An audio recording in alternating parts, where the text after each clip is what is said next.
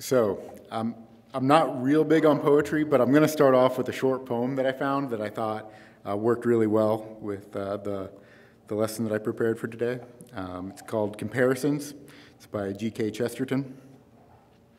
If I set the sun beside the moon, and if I set the land beside the sea, and if I set the town beside the country, and if I set the man beside the woman, I would suppose some fool would talk about one being better than the other. Men and women are different. Boys and girls are different. Uh, women, if they were to be like men, and men being like women, would make the world very boring, right? Um, God made us this way. He, he, he made us different for unique purposes. It's not just arbitrary differences. Um, pretending that that's just physical um, cheapens what God has done in His creation. If we're to raise our children to fulfill their purpose, we need to understand these differences and parent towards them. We should not, on one, on one hand, acknowledge these differences, and then on the other, pretend like they don't exist when we're choosing how we're going to raise our children. Uh, we need to aim where we're going to fire our arrows into the world. So, as we're looking at this, let's start at the beginning Genesis 1 26 through 31. And I think I happened to copy out a uh, New King James, so uh, if it doesn't quite line up, uh, forgive me. Um, then God said, let us make man in our image, according to our likeness. Let them have dominion over the fish in the sea, over the birds of the air, and over the cattle, uh, over all the earth, and every creeping thing that creeps on earth. So God created man in his own image. In the image of God, he created them. Male and female, he created them. And then God blessed them, and God said to them, Be fruitful and multiply, fill the earth and subdue it have dominion over the fish of the sea, over the birds of the air, and over every living creature that moves on earth. And God said, uh, See, I have given you every herb that yields seed, which is on the face of the earth, and every tree whose fruit yields seed. To you shall be for food. Also, to every beast of the earth, to every bird of the air, to everything that creeps on the earth, in which there is life. I have given every green herb for food. And it was so. And then God saw everything that he had made, and indeed it was very good. So the evening and the morning were the sixth day. And then we see in Genesis 2 18, and the Lord said, It is not good that man should be alone. I will make him a helper comparable to him.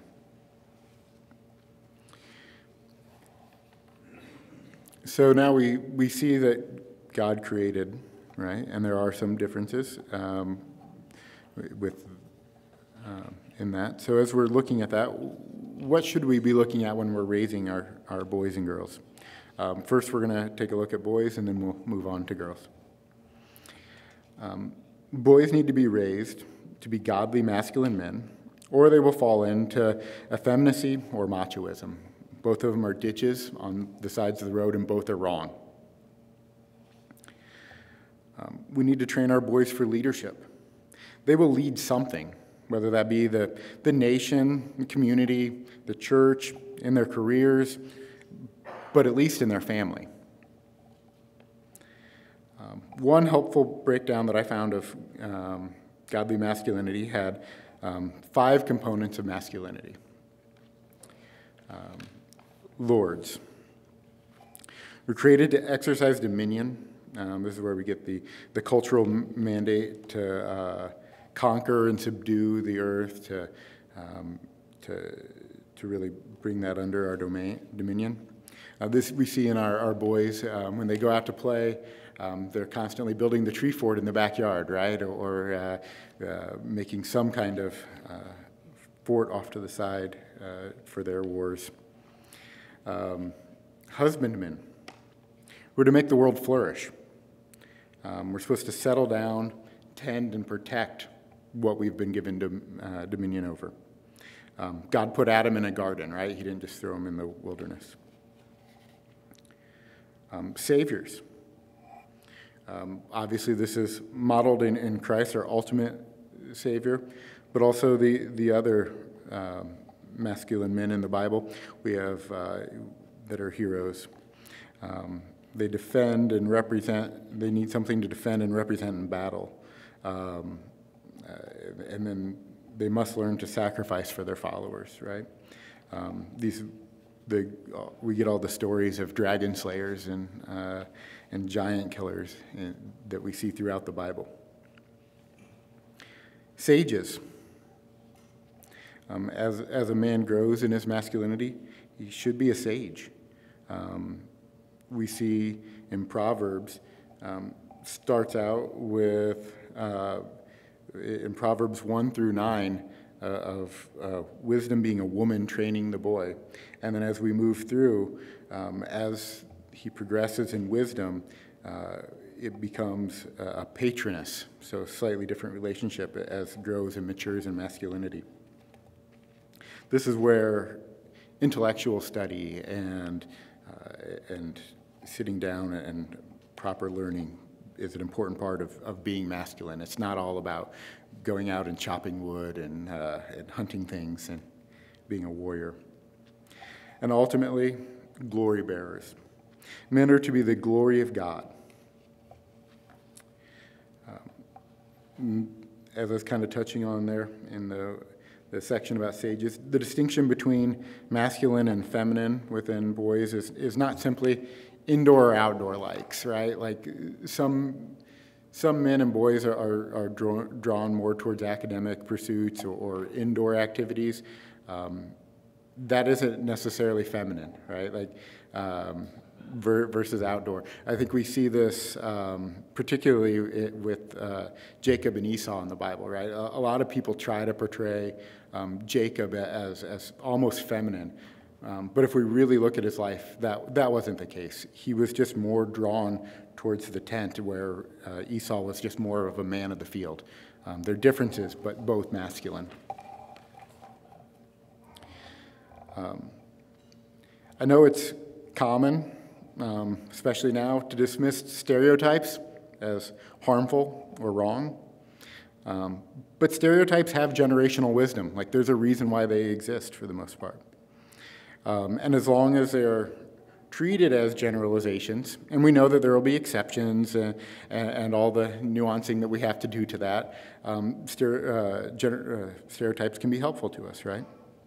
Um, I want to talk about a couple um, around boys um, that I think can help us in, in, uh, in identifying some of these tendencies and, uh, um, working with them. Um, boys tend towards laziness. Um, so it's important that we need to instill a work ethic in them. Um, hard physical work is needed.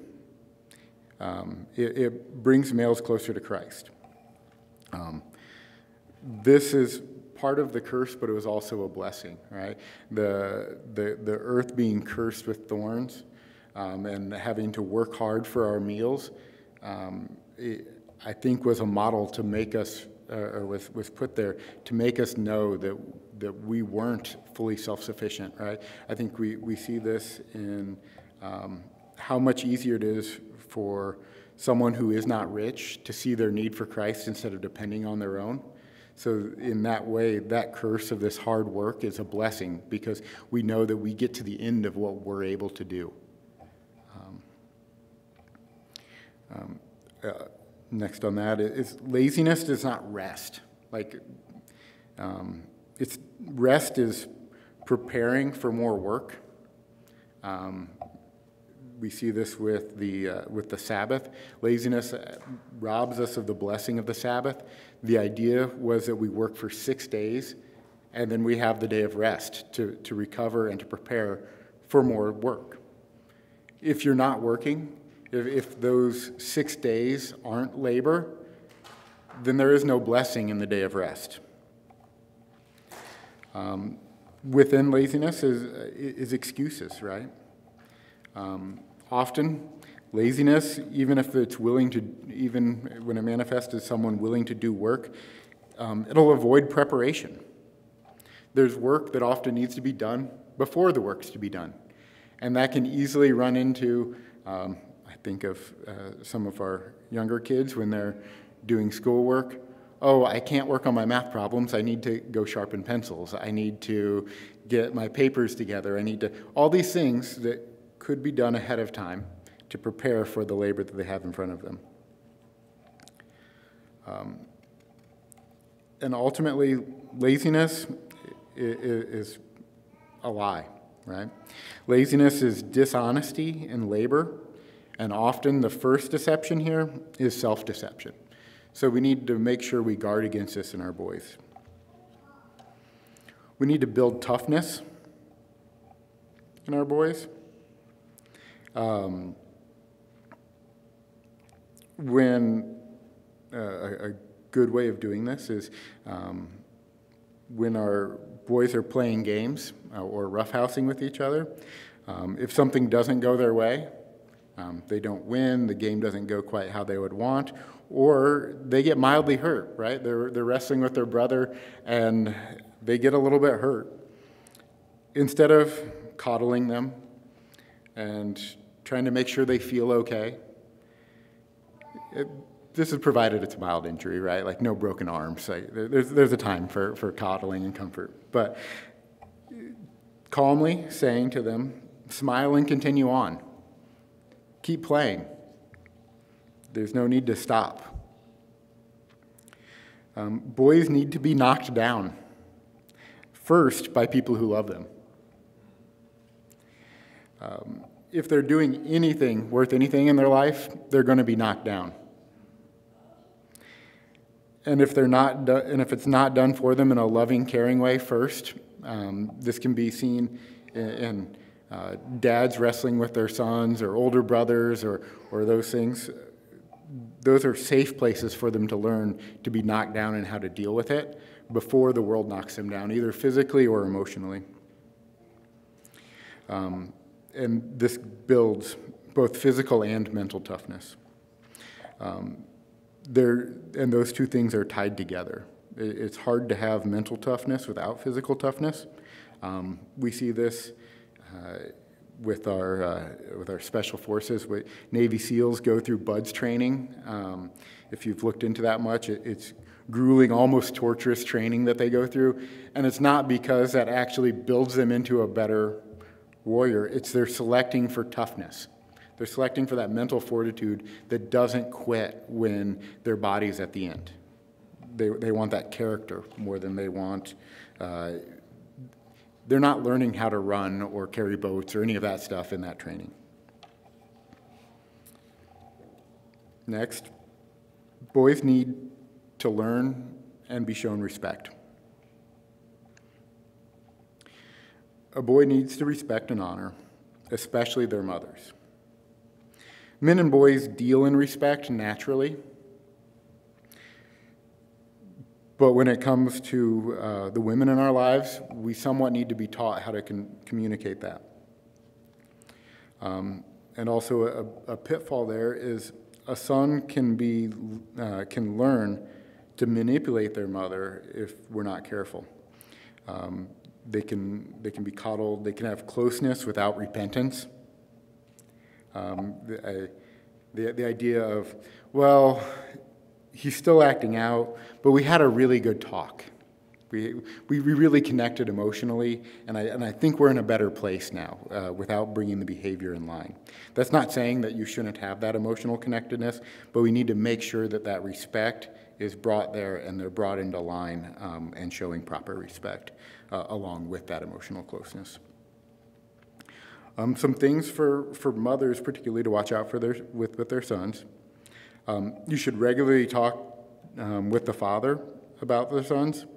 Um, you should talk to, your father, uh, to the father of your children about um, all of your children, um, but especially sons, because um, as a woman, you don't naturally understand the way men communicate and deal with things, right? Like it, it's it, it's a learning process, and the father is already built into that model and knows how men relate.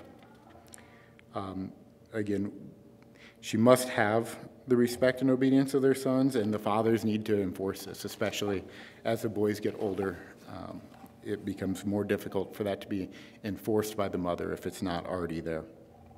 So then the father must step in and, and make sure that's done. Um, and she must never subsidize laziness um, in their boys. Um, boys can work harder than they say. There's usually, I'd say almost always, a little bit more that they could do than, that, than they're willing to say they can. Um, next, boys should be given a trade or a vocation. Um, vocation comes from the Latin voco. Um, I don't know if my pronunciation of the Latin is right there. Uh, I'm, I'm, not very good with languages, so we'll move on from that. Um, but the idea there is um, to be called upon, to call or to summon. So this is the, the calling is, is, where we get the idea of, of vocation, not just a job. Um, we are to be stewards of this world, and men express this largely through our work. Um, it is what we spend most of our waking hours doing. And in Psalm 8, um, we see, Lord, O Lord, O Lord, how excellent, excellent is your name in all the earth, who have set your glory above the heavens. Out of the mouth of babes and nursing infants, uh, you ordain strength because of your enemies, uh, that you may silence the enemy and the avenger. When we consider your heavens, the works of your fingers, the moon and the stars which you have ordained, what is man that you be mindful of him, and the Son of Man that you visit him? For you have made him little lower than the angels, and you have crowned him with glory and honor. You have made him to have dominion over the works of your hands. You have put all things under his feet all sheep and oxen, even the beasts of the fields, the birds of the air, and the fish of the sea that pass through the, uh, the paths of the seas. O Lord, our Lord, how excellent, excellent is your name in all of the earth. We see there that we are to have dominion, and that implies the work that goes with that. Um, and then in the New Testament, if we look at Ephesians 2 8 through 10, for by grace you have been saved through faith, and not of yourselves. It is the gift of God, not of works, lest anyone boast. For we are his workmanship, created in Christ Jesus for all good works, which God prepared beforehand that we should walk in them. Um, I wanted to look in that passage particularly about, uh, or highlight there, that we're his workmanship, created for Christ Jesus in all good works. Um, this is, um, I think we have a tendency to, in, in, modern society, to have a strong separation between the, uh, the secular and the sacred. Um, historically, all things are God's, and that did not exist. There was one world that included the spiritual and the physical. And so when we're looking at our good works, this isn't just spiritual good works uh, of uh, preparing a Bible lesson or, or sharing the gospel. While those things are definitely included, it would also include the good works you do with honest, hard work through your day and how that can serve the Lord. Um, I think we get into a, a bit of a, a soft Gnosticism um, with our strong separation between the, uh, the secular and sacred. Um, and that makes our, our everyday life seem less important um, than, than the spiritual things. What we do on a, on, a, on a Thursday afternoon is just as important in a slightly different light than what we do on Sunday morning. Men are to have a mission and women are to come alongside that as helpmeets. If we don't prepare to our boys to have a mission in their life and to work something out, it'll be much harder for a godly woman to come alongside them and be their helpmeet. It's really hard for a woman to come alongside a man and fulfill her proper role if he's not fulfilling his. So we need to prepare our boys to be the kind of men that their families will need them to be. Um, this idea of, of preparing our sons for a vocation um, includes, but is in no means limited to, education. We need to know our sons well enough by working alongside them and encouraging them uh, to uh, encouraging them and helping them um, by providing the training that they need for, for what we see as their calling. Um, I personally would recommend um, in our current environment, we can talk about this separately, uh, but I'd, I'd, recommend something where they can either be um, uh, they can be either employed um, by a company or self-employed um, as someone who, who, has a white collar office job, um, we can talk about some of the constraints that come along with that. Um, if you want to have a side conversation at some point as to why I would recommend not going that route. Um, some of this across the board is, is this is difficult in our modern society, right? Um, Pre-industrial revolution, the household was the center of economic activity. Um, as a result of the Industrial Revolution, men have been pulled out of the home to work in factories and offices, uh, and later in that process, women also. Um, this has led to the compartmentalizing of our lives. Work is no longer something that we do with our family and at home. Um, much of household work has now been outsourced. Um, it takes much less to handle tasks of keeping the home than it used to. And even uh, children are often sent off for education uh, for a longer period of time than they previously would have. Um, with trying to, to regain some of that, um, we need to, to try to um, rebuild this proper view of home and household, um, which again is difficult um, in modern society where, where work and all these things that take up so much of our time pull us away. So we need to be very intentional um, of trying to build that closeness that's built in. Um, now, moving on to our daughters. Our, our daughters need to have feminine beauty modeled for them. This is tricky, as the assault on the feminine was indirect at first, um, starting by tearing down the masculine. Now we see where this was going. Uh, it's worked its way out in our society. Um, I think of uh, movies that have strong female characters that are no longer feminine. Um, uh, in mind, because of things I've recently been watching. I was thinking of uh, the character of Galadriel in uh, Lord of the Rings. Um, she was a powerful, regal queen of the elves, very feminine. In the new Amazon Rings of Power TV show, um, she's now a brash warrior and is much more masculine than most of the male characters. Um, we need to teach our girls the high calling of wife and mother because the world is telling them that this is a waste of time and talents. If uh, think about going back to a high school reunion and you're gathered around everyone that you've been with and you're, well, what do you do? What do you do? Well, I'm a wife and mother.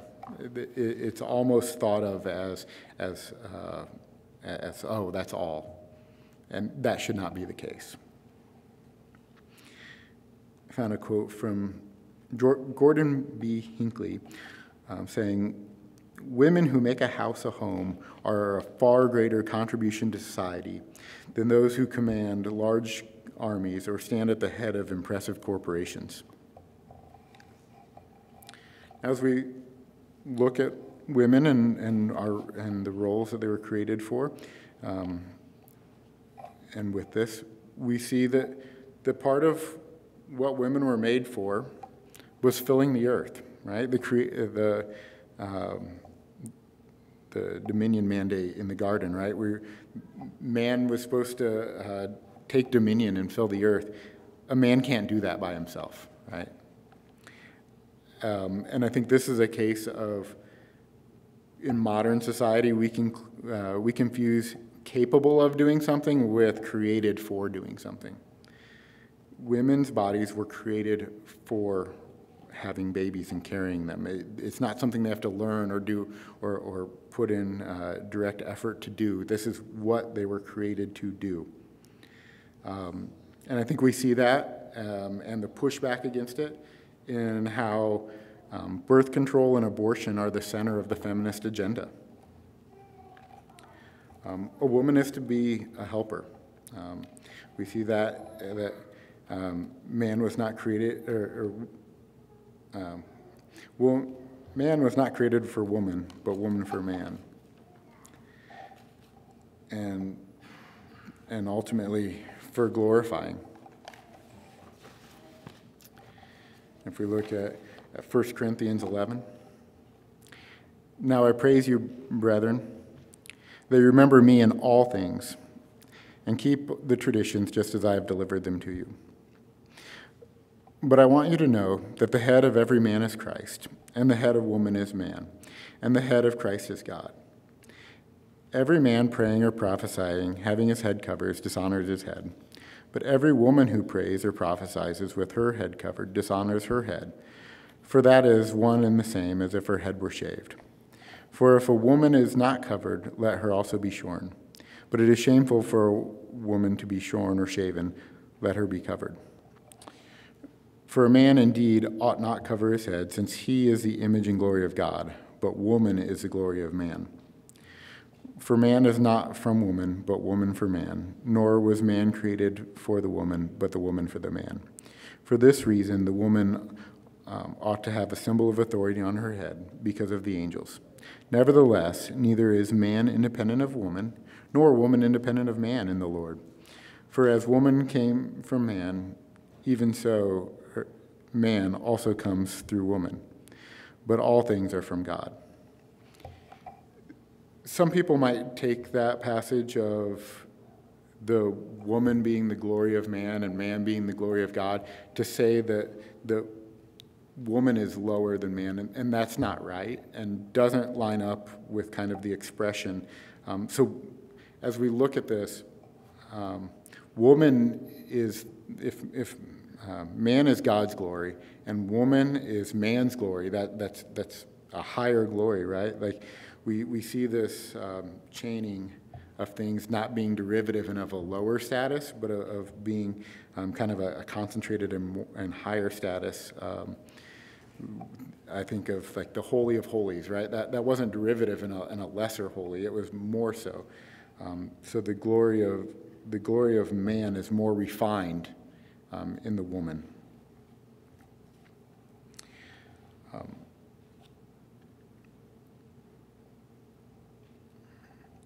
so how does that how does this work out, right? So so we see this idea.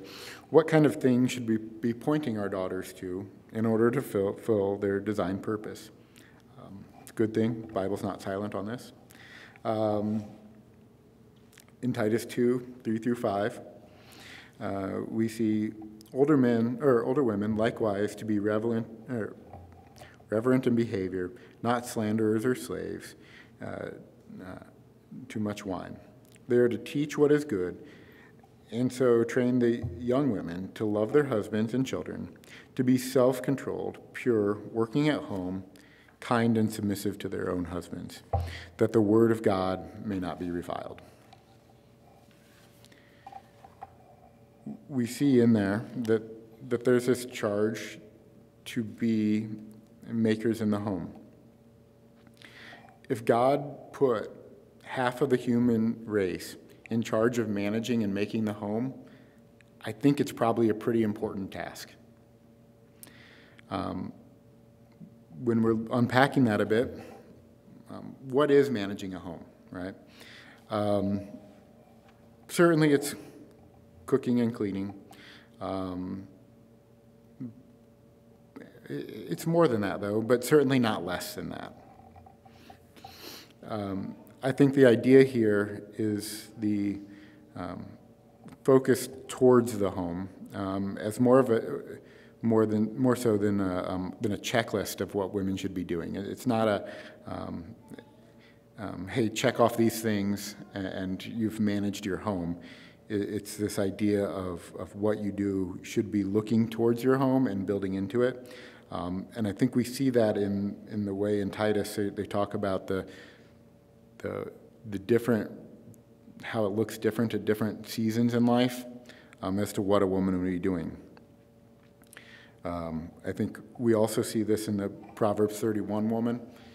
While what she's doing isn't all in the home, right? She's going out into the marketplace, she's buying a field, she's doing all these things.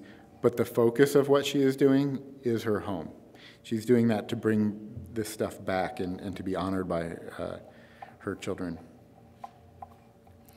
Um, and this, this idea um, when we take it as, as being more of a focus as opposed to a, a checklist of, of, what to do with the, in the home, um, can also apply to all women, not just married women, right? Um, because if you were a, a, a younger single woman, the idea of managing the home with a checklist of cooking and cleaning would take a few minutes of your day, then what are you to do, right? But if your focus is on, on building up the home, which could include a, a larger group of people than maybe your immediate family in, in that season in your life. Um, you'd be building into um, the, the people in your life and, and building that up. Um, and that's a way that God has made women especially equipped.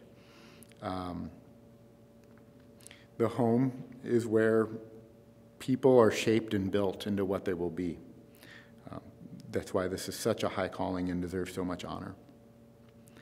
Um, as fathers, um, we need to admire our daughters and, our, and we need to admire our wives in front of our daughters so that they see how highly we regard them and how important what they do is. And mothers, you need to uh, view the work you do around the house um, as important. It's not just a utility of, well, the dishes need washed and we need to have dinner on the table, right? The, these are important things that God has called us to, uh, and we should be able to glorify God in that and model that for our daughters so that they see that. And that is how they will know that these things are important so that when they grow, they will have proper attitudes towards them.